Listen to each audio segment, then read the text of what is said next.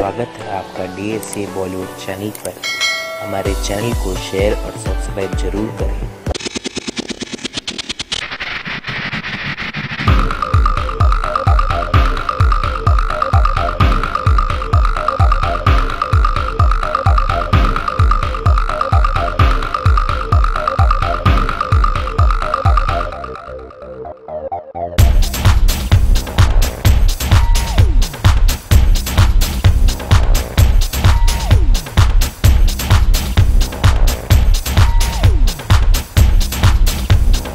दुष्यंत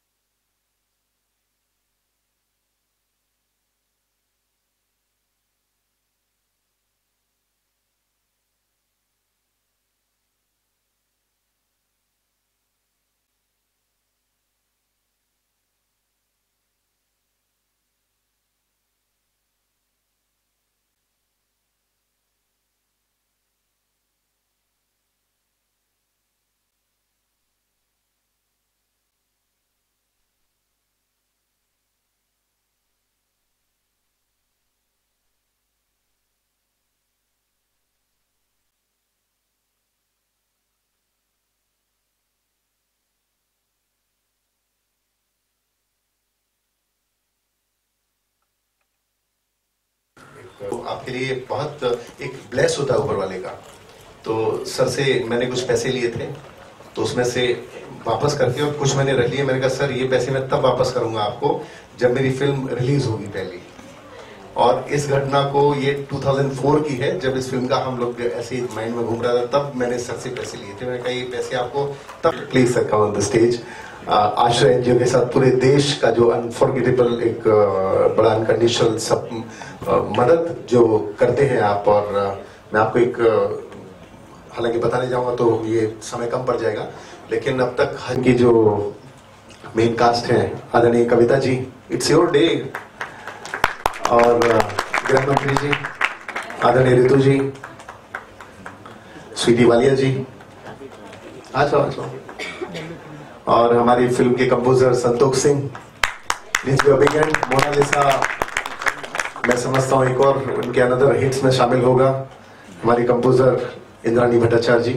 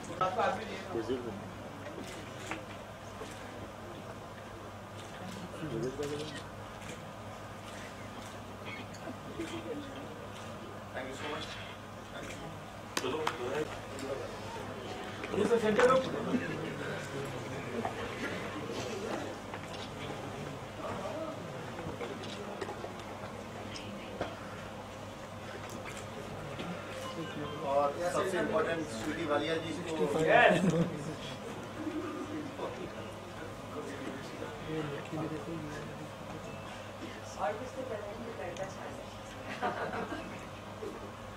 है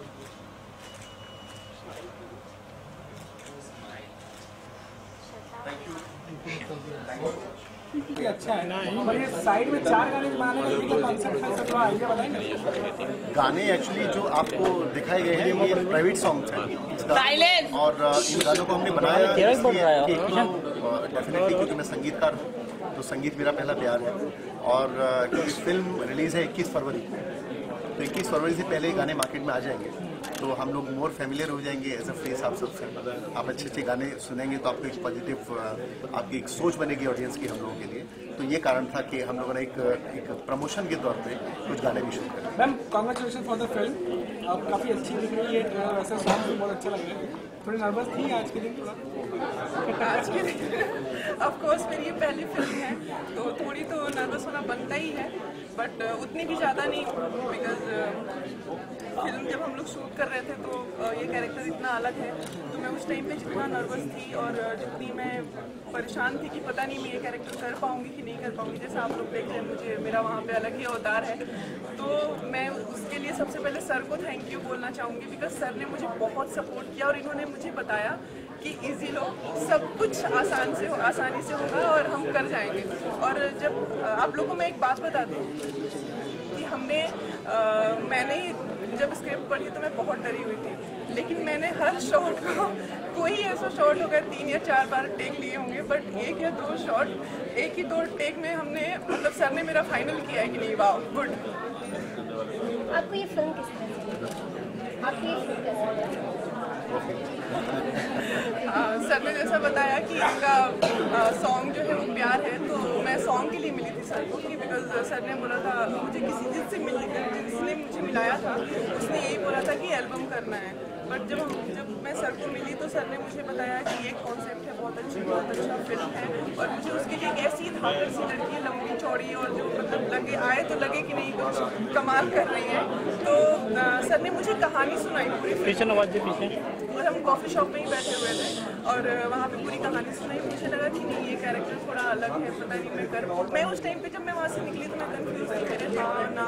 और सर ने भी बोला था कि देखो ये बहुत ही एक एक्टर के लिए बहुत ही अच्छा और टर्निंग पॉइंट होता है जब आप स्टार्टिंग में एक्टिंग करके अपने आप को एक्टिंग करके अपने आप को साबित करते हो ये बहुत बड़ी बात होती है। तो सर का कहीं ना कहीं उसमें एक फोर्स तो नहीं बोल सकते बट बहुत बड़ा साथ रहा कि सर ने मुझे बताया कि ये एज एक्टर अपने आप को प्रूव कर पाओगे तो तो मुझे भी लगा कि करना चाहिए और हमने किया और इतना आसानी से और देना पड़ेगा मज़े में हमने ये कर दिया।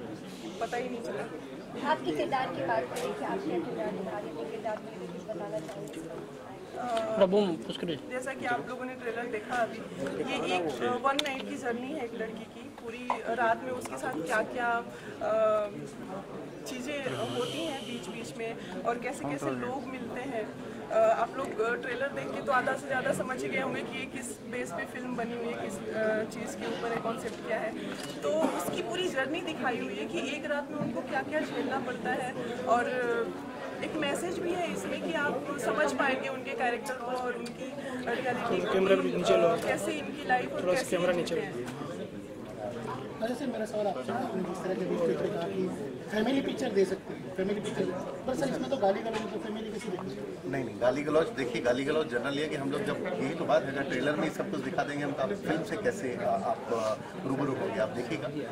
जनरली हम लोग जैसे घर में रहते हैं या कहीं आम, कभी गुस्सा आ जाता है, हम लोग गाली देते हैं। अगर आपने डायलॉग पे ध्यान दिया हो तो कहते हैं कि अब उनके लिए तो बोली है। है गाली नहीं है तो बोली है, तू क्यों शर्मा रहा है? और वो लड़का शर्मा रहा है उससे बोलने में उसने जो गाली दी, इंग्लिश में गाली दी, उसको हिंदी बता देने तो लेकिन बात तू क्यों शर्मा रहा है? तो बट फ़िल्म आप ओवरऑल जब देखेगा तो कितने कितने सेंसर कट मिले? को सेंसर सेंसर में कितने कट ये सेंसर अब ये सब तो अब सारी बातें आपको एक तो सारी बातें आज आगे पूछ लोगे तो फिर आगे क्या मज़ा आएगा? अभी तो बहुत सारी प्रेस कॉन्फ्रेंस करनी है हम लोगों को। कुछ तो कुछ कट वगैरह कुछ चीज़ की गाली वगैरह है? नहीं सेंसर में मैं कोई किसी परेशानी का सामना अभी तक तो नहीं करना पड़ा। और आई होप कि by tomorrow day after like we have a final happening with the censor तो और इसलिए। ये दिनेश भाई अब आइए। सर ने मुझे एक कैरेक्टर भी दिया और साथ साथ में एक उन्होंने मुझे स्किल भी दी ऑटो ड्राइविंग की। इसके अंदर मैंने ऑटो ड्राइवर का बुरे समय में काम आया। काम आया। हाँ, ऐसा कुछ भी नहीं है। फ़िल्म अद्भुत है और मैंने जब चार पाँच दिन भैया के साथ बैठा और स्क्रिप्ट पढ़ी तो मुझे लगा कि मैं कर पाऊँगा कि नहीं कर पाऊँगा इतना मोटिवेशनल है ये तो मोटिवेशनल ग्रुप ही है। और ये मोटिवेट करके मुझे बोले तुम कर लोगे। तो मैंने तेरह दिन तक ऑटो सीखा। फिर जा करके चलाना शुरू किया और चला करके फिर अब फ़िल्म आप लोग चलाएँगे। बोलना चाहूँगी दुष्यंत सर को कि उन्होंने मुझे काम फ़िल्म में अप्रोच किया। और मेरा फ़िल्म फ़िल्म में जो कैरेक्टर है वो कॉप का है। इससे पहले आपने बेसिकली मैं ये कह सकती हूँ कि ऐसी कॉप आपने नहीं देखी होगी। तो मेरे लिए बहुत ही ड्रीम एक प्रोजेक्ट था क्योंकि मैं पहले भी कॉप का कैरेक्टर करना चाहती थी और सर के थ्रू मुझे ये कैरेक्टर मिला तो बहुत अच्छा लगा। इसके कैरेक्टर के बारे में मैं ज़्यादा नहीं बोल सकती, क्योंकि सस्पेंस है वो। आपको वो फ़िल्म में ही देखना पड़ेगा 21 फरवरी को। लेकिन रियली मैं बहुत बहुत बहुत अच्छा फील कर रही हूँ अभी। जुकाम है मुझे तो मे भी मेरी आवाज़ से लग भी रहा होगा। मैं सिंघम हूँ या मर्दानी है तो आप लोग बताएँगे जब फ़िल्म देखेंगे तब। तो मैं बदमाश हूँ। Thank you so much Ram भैया। क्या क्या ऐसा खासियत रही जी की या फ़िल्म? की क्या जी के ऊपर कितने अच्छे कलाकार हैं, इतने अच्छे माहिर हैं, वो अपने काम में और एनर्जी वो डालते हैं और डिवोशन से जो काम करते हैं, मेरे ख्याल से उनके साथ में काम जो भी करना चाहेगा happy younger brother so I have to support आज देखा था देखा क्या क्या कहेंगे ये तो पब्लिक आप आपने देखा आप, आपका क्या ओपिनियन अपनी चीज़ तो हमेशा सबको पसंद आती है। तो तारीफ़ ही करेंगे। ये तो आप लोग बताइए। मैम क्या आ गया जी मैम थोड़ा तो हाँ। बात The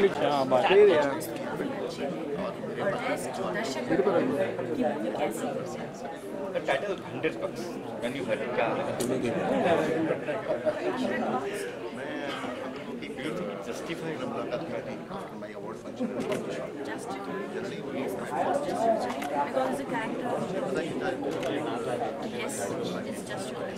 सुन जी गाना भी गा रहे हैं। गाना हैं कहीं गाना के बारे में गाने बहुत ही अच्छे हैं। काफ़ी अच्छे हैं। रेस्ट आप लोग बताएँगे मूवी देख के फिर बताइए कैसे लगी आप मेरे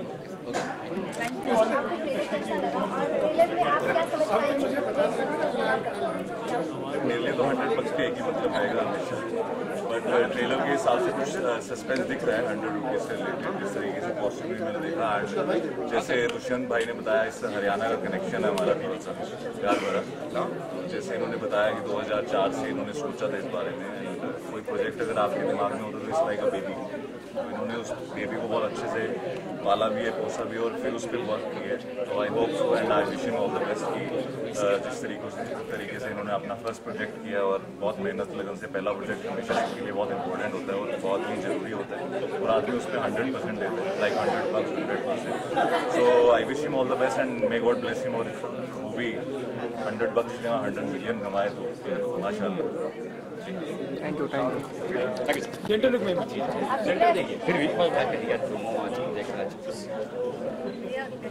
सही कह रहे हो।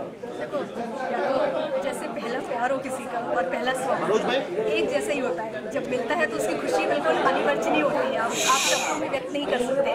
कि आपको कितनी खुशी निवेदिता? बिल्कुल उसी तरह ये जो फ़िल्म निवेदिता। हंड्रेड जी का और मेरा हम लोगों ने इसको जन्म दिया और एक तरह से पालन पोषण किया। ऐसा स्वप्न है। तो वो आज पूरा हो रहा है। तो मुझे बहुत ज़्यादा खुशी है। उतनी खुशी जितना सब लोगों का बहुत प्यार और स्नेह भी मिल रहा है इस फ़िल्म को। और मुझे उम्मीद है कि बहुत अच्छी जाएगी फ़िल्म बहुत हिट होगी। आप सबका तो है हमारे साथ music music as a singer Dushyant ji की म्यूज़िक एल्बम है मेरा इश्क तो उस गाने के है आप सभी ने देखा होगा। Thank you